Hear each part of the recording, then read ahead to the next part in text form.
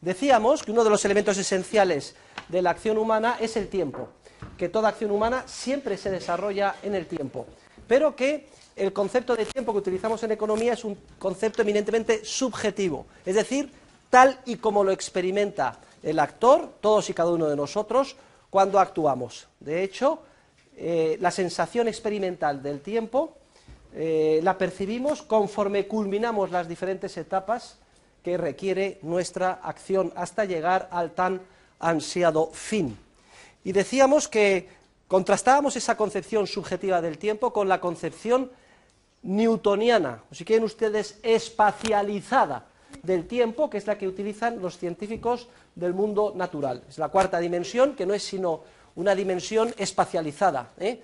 ¿Eh? altura, longitud, anchura, y luego movimiento. Decíamos que los relojes cronológicos lo que hacen es una analogía entre, por eso se llaman relojes analógicos, entre el movimiento y el transcurso del tiempo. El gran reloj analógico es el Sol y que hay una constancia en comparación con el mundo de la acción humana, donde todo es creatividad.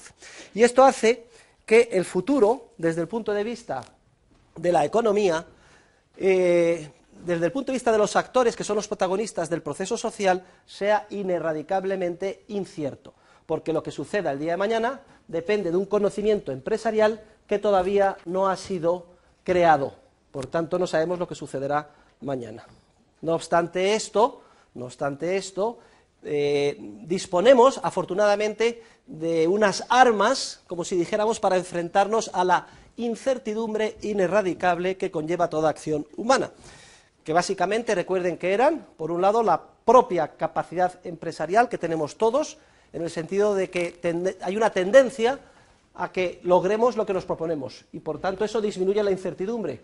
Si nos movilizamos para terminar el máster, lo más probable es que lo terminemos y eso disminuye la incertidumbre.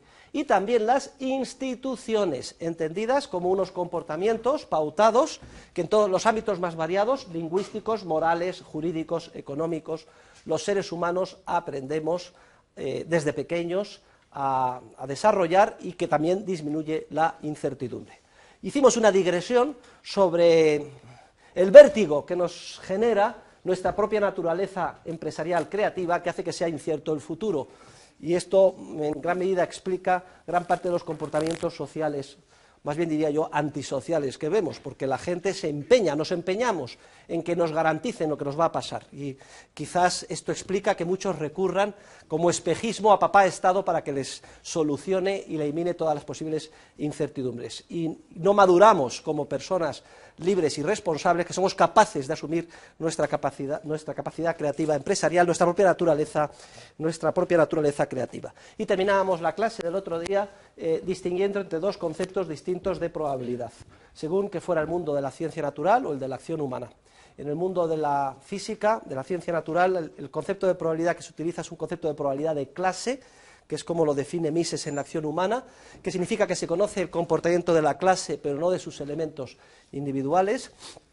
En el mundo de la ciencia natural hay riesgo, porque se conoce o puede llegar a conocerse, aplicando el teorema de Bayes, las, alternativas y las distribuciones de probabilidad. De hecho, todo el avance científico en eso consiste, en buscar ese conocimiento. El riesgo es asegurable porque como conocemos el comportamiento de la clase o podemos llegar a conocerlo, podemos diluir eh, eh, entre los elementos el, riesgo que existe. Poníamos el ejemplo una tabla de mortalidad. Sabemos que tres de cada mil van a morir a los 40 años. No sabemos el nombre y apellido de los tres, pero si todos ponen un euro habrá un capital disponible para los beneficiarios.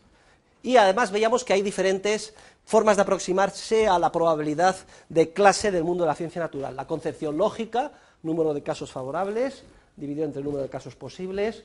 La frecuencialista, ¿eh? suponiendo que todos los fenómenos son iguales, frecuencia, tiro mil veces la moneda, tiende a ser la mitad de las veces cara, la mitad de las veces cruz, y que el concepto de probabilidad de clase es el objeto de investigación del científico natural, que toda la ciencia avanza tratando de investigar, descubrir por la probabilidad de vida en Marte, etcétera. Así avanza la ciencia natural.